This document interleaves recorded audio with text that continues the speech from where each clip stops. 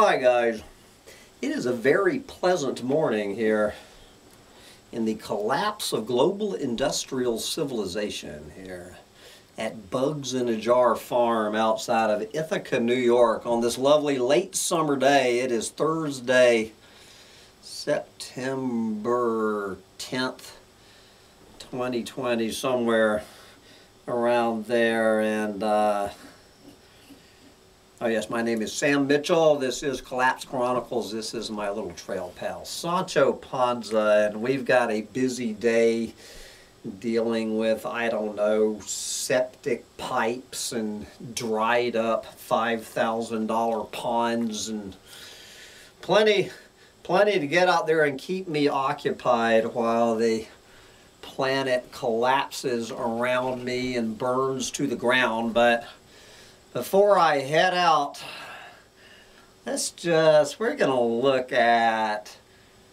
three reports of doom and gloom to get my day going. Uh, to see how doomed we are today.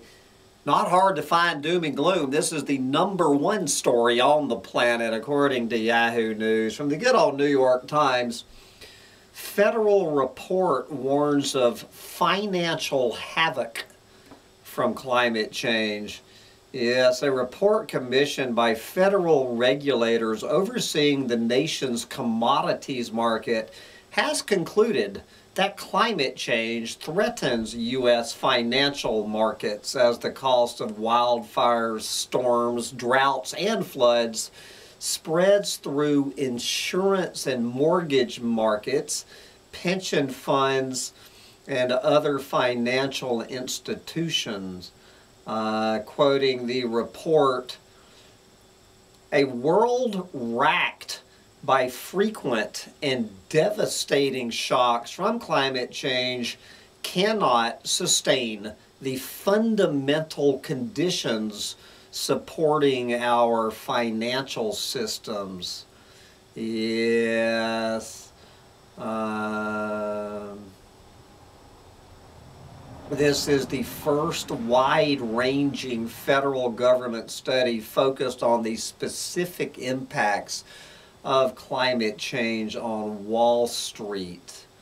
Uh, perhaps most notable is that it is being published at all the Trump administration has suppressed, altered, or watered down government science around climate change as it pushes an aggressive agenda of environmental deregulation that it hopes will spur economic growth.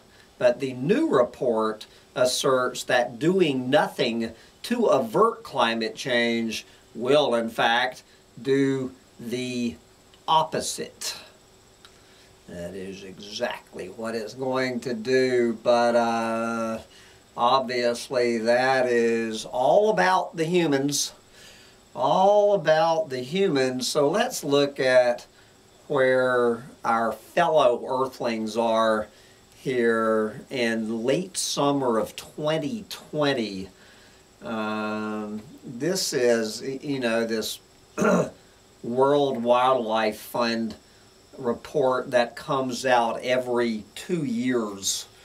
Uh, animal populations have declined nearly 70% in the last 50 years. Okay, it is impossible to deny. This is CBS News, the mainstream media of the mainstream media it is impossible to deny humans are changing and destroying the natural environment at an unprecedented and alarming rate.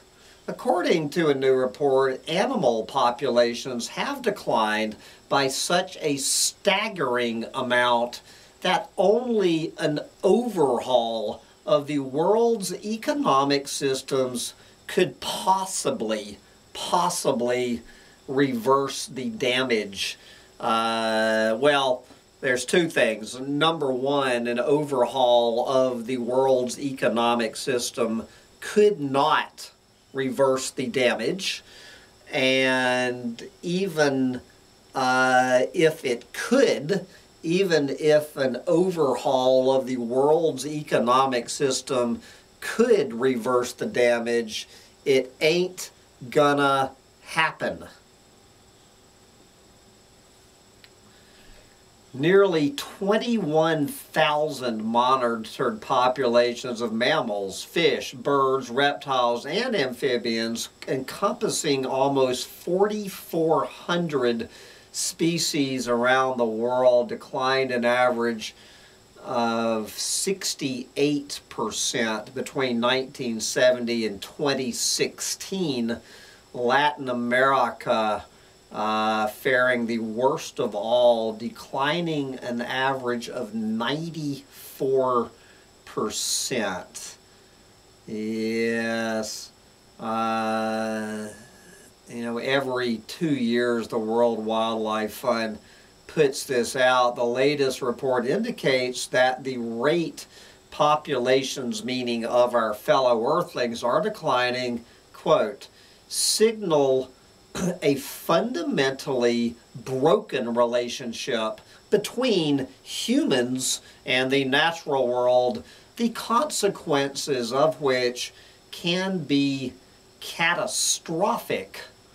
This is World Wildlife Fund uh, President and CEO Carter Roberts. Quote, this report reminds us that we destroy the planet at our peril because it is our home.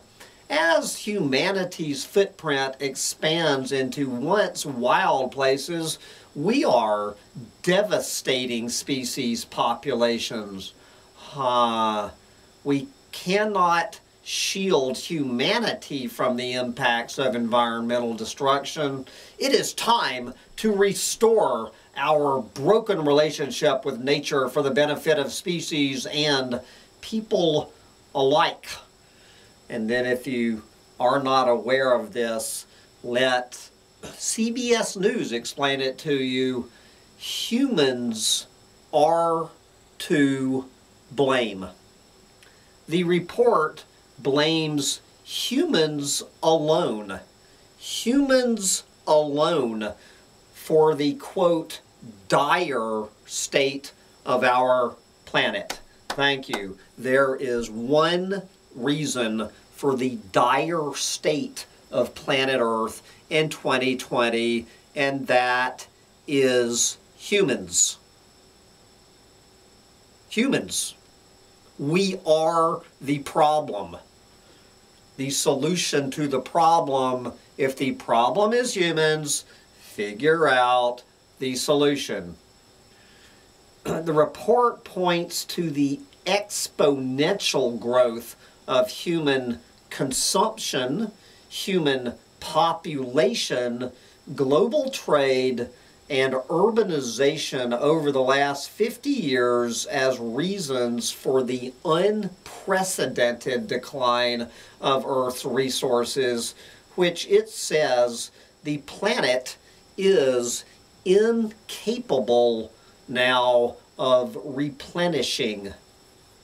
The overuse of these finite resources by at least 56% this year has had a devastating effect on biodiversity, which is crucial to sustaining human land, human life on Earth. The report points to land use change, in particular the destruction of habitats like rainforests for farming as the key driver for loss of biodiversity. And then it breaks all of this down looking at um, mainly at agriculture and the food industry. The food industry and habitat destruction. And then, of course, uh, we look at the back horse in the pack which is climate change. So up to now, species over exploitation, invasive species and diseases, and pollution are all considered threats to biodiversity, the report said. However, human caused climate change is projected to become as, or more important than, other drivers of biodiversity loss in the coming decades. Climate change creates an ongoing destructive feedback loop in which the worsening climate leads to the decline in genetic variability, species richness, and populations, and the, that loss of bi biodiversity adversely affects the climate, which adversely affects biodiversity. Can you see the loop-de-loop? And 100% of everything talked about in this uh, report and in this article in CBS News has one cause, and that is humans. Humans are the driver of the sixth mass extinction. There is one way to save the planet at this point, and that is to get humans off the planet. And uh, you can figure out your own choices of how to do that, I guess. But so that brings us up to where we are as of today, actually. That brings us up to, to 2016. That brings us up to where we were four years ago. All right. And uh, before the election of Donald Trump and Jair Bolsonaro. Okay. But let's go from CBS over to Associated Press, the single biggest mainstream news gathering organization on the planet, looking ahead from 2020. Do you think 2020's disasters are wild, experts see worse in the future. And here is a picture of, uh, this is a picture of Oregon uh, here this week. The new normal. All right. This is by this fellow Seth Borenstein. I like this guy. Okay, explain this to us, Seth. Why 2020 will soon be seen as the halcyon good old days. If I can find my white cursor on this white background. All right. A record amount of California is now burning, spurred by a nearly 20-year mega drought to the north, parts of Oregon that don't usually catch fire are now in flames. Meanwhile, the Atlantic 16th and 17th named tropical storms are swirling, a record number for this time of year. Powerful typhoon Haishen last Japan and the Korean Peninsula this week. Last month it hit 130 degrees in Death Valley the hottest Earth has been in nearly a century. Phoenix keeps setting triple-digit heat records, while Colorado went through a weather whiplash of 90-degree heat to snow this week. Siberia, famous for its cli icy climate, hit 100 degrees earlier this year, accompanied by its own wildfires. Before that, Australia and the Amazon rainforest were in flames. Amid all that, Iowa's derecho, bizarre straight line winds that got as powerful as a major hurricane causing billions of dollars in damages barely went noticed. Freak natural, dis natural disasters most with what scientists say likely have a climate change connection seem to be everywhere in the crazy year 2020. But experts say we will probably look back and say those, meaning these, were the good old days when disasters weren't so wild. Okay. So let's take a little survey of doomsday prophets. Let's start with Georgia Tech climate scientist Kim Cobb. Quote, it's going to get a lot worse. I say that with emphasis because it does challenge the imagination and that's the scary thing to know as a climate scientist in 2020, close quote. Colorado University Environmental Sciences Chief Waleed Abdalati, NASA's former chief scientist, said the trajectory of worsening disasters and climate change from the burning of coal, oil, and gas is clear and is basic physics. Quote, I strongly believe we're going to look back in 20 years, certainly 20 and definitely 50 years, and say, wow, 2020 was a crazy year, but I miss it. Close quote. That's because what is happening now is just the type of crazy climate scientists anticipated 10 or 20 years ago. This is North Carolina State climatologist Kathie Dello. Quote, it seems like this is what we always were talking about a decade ago, close quote. Even so, Cobb said the sheer magnitude of what is happening now was hard to fathom back then, meaning 10 years ago, just as the future of climate disasters is hard to fathom now.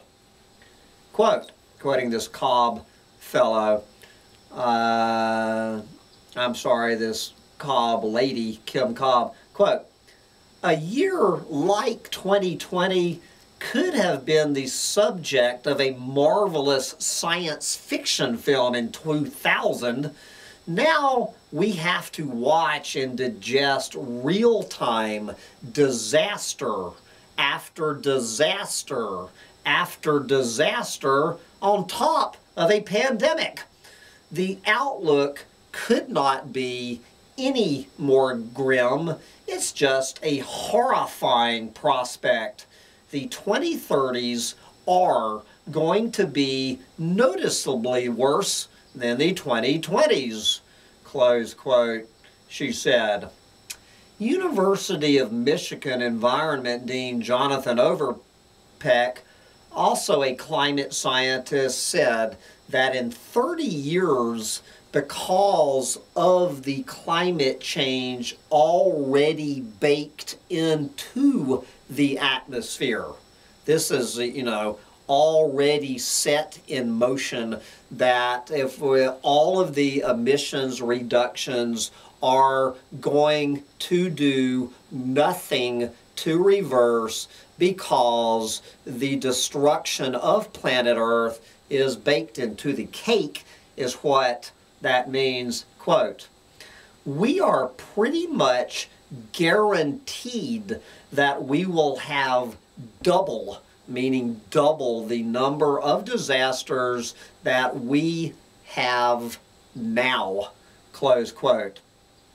Expect stronger winds, more drought, more heavy downpours, and more floods, Abdalati said. Quote, the kind of things we are seeing are no surprise to the scientific community that understands the rules and the laws of physics, added Dello, quote, a lot of people want to blame it on 2020, But 2020 did not do this. We know the behavior that caused climate change, close quote. Consider the world's environment like an engine.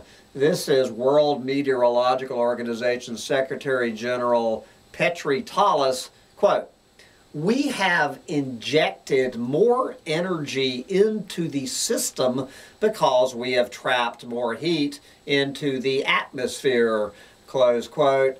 That means more energy for tropical storms as well as changes to rainfall patterns that bring drought to some places and heavy rainfall to others. In California, where more than 2.3 um, now, th this was yesterday, so now in California, where more than two and a half million acres have burned so far, the you know this year alone, the fires are spurred by climate change, drying plants and trees that then go up in flames said University of Colorado fire scientist Jennifer Balch. California is in the middle of a nearly 20 year mega drought, the first of its kind since in the U.S. since Europeans arrived, Overpeck said. Scientists also make direct connections between heat waves and climate change. Some disasters at the moment cannot be directly linked to man-made man-made warming such as Iowa's derecho Overpeck said but looking at the big picture over time shows the problem and it's one that comes down to the basic physics of trapped heat energy quoting Abdalati I am not an alarmist. I don't want to scare people. It is a problem with tremendous consequences, and it's too important not to get right. Close quote. And now, in a desperate, futile, uh, dying attempt to find some hopium in all of this, uh, AP had to dig deep. Uh, and so, even though the climate will likely get worse, Overpeck is also optimistic about what future generations. Yes, what future generations?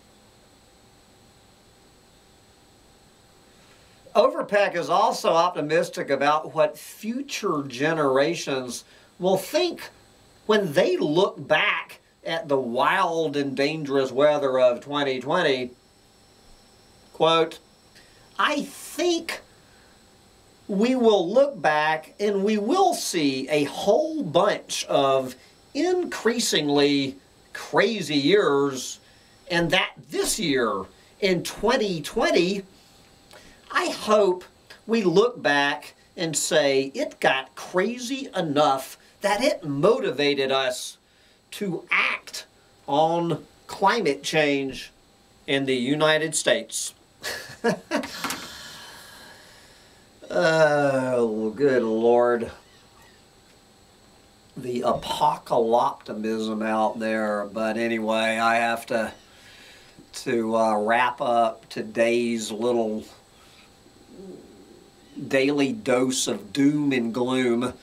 Uh, if you enjoyed uh, today, today's dose of how doomed we are, please thumb up this video. And if you want more doom and gloom where this came from, you can uh, subscribe to Collapse Chronicles. And I really do appreciate anyone who has ever supported whatever it is that I do to ruin your day here uh, whenever I can on Collapse Chronicles. And uh, with that, I'm going to wrap up uh, today's rant. And what's it going to be? I think I'm going to go out there and bury a septic pipe. What do you think, little dog? Burying a septic pipe? Does that sound like a fine way to save the planet? Bye, guys.